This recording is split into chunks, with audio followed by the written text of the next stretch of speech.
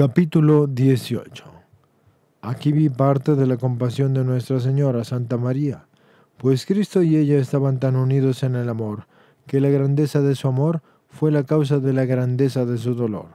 Y en esto vi que la esencia del amor natural que las criaturas tienen por Él es desarrollada por la gracia, y que este amor natural fue superado y revelado con mayor perfección en su dulce madre, y así como ella le había amado más que todos los demás, así su dolor sobrepasaba al de todos los demás. Pues siempre, cuanto más fuerte y más dulce es el amor, más triste es para quien ama el ver sufrir al cuerpo amado. Y por eso todos sus discípulos y todos sus verdaderos amadores sufrieron más de lo que sufrieron por su propia muerte.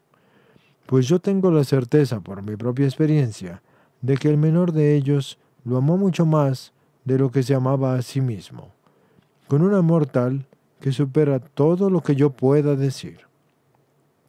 Aquí vi una gran unidad entre Cristo y nosotros, según pude comprender, pues cuando Él sufría, nosotros sufríamos, y todas las criaturas capaces de sufrir, sufrían con Él.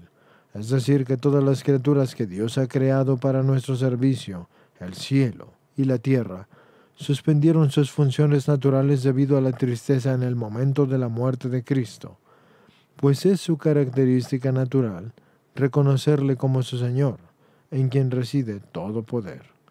Y cuando Él desfalleció, ellos desfallecieron con Él, según su naturaleza, por la pena causada por sus sufrimientos. Y así, aquellos que eran sus amigos sufrieron dolor a causa del amor y toda la creación en general sufrió. Es decir, incluso quienes no le reconocían sufrieron, porque el bienestar de toda la creación se debilitó, excepto la poderosa y secreta protección de Dios para todos ellos. Aludo pues a dos tipos de gente que no le reconoció y que pueden estar representados por dos personas. Una fue Pilato y el otro San Dionisio de Francia, que en aquel tiempo era pagano. San Dionisio de Francia fue habitual en la Edad Media, puesto que la confusión entre Dionisio, el Areopagita, que fue convertido por San Pablo, y está en Hechos de los Apóstoles 17, versículo 34, el escritor griego anónimo de los siglos 5 y 6, y además también fue gran teólogo místico, conocido como el pseudo Dionisio, y San Dionisio, que fue primer obispo de París y patrón de Francia.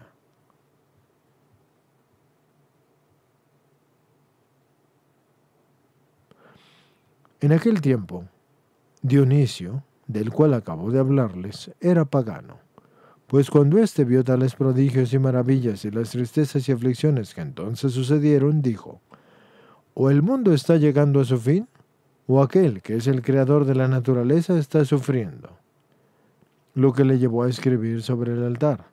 Este es un altar al Dios desconocido. Y Dios en su bondad, que hace que los planetas y los elementos funcionen según su naturaleza, tanto para los bienaventurados como para los réprobos, en aquel tiempo quiso retirar esa función. Y así sucedió que quienes no lo reconocieron, sufrieron también en aquel tiempo. Así fue como nuestro Señor Jesús sufrió por nosotros, y todos nosotros estamos con Él en ese sufrimiento, y lo estaremos hasta que alcancemos su beatitud, como más adelante diré.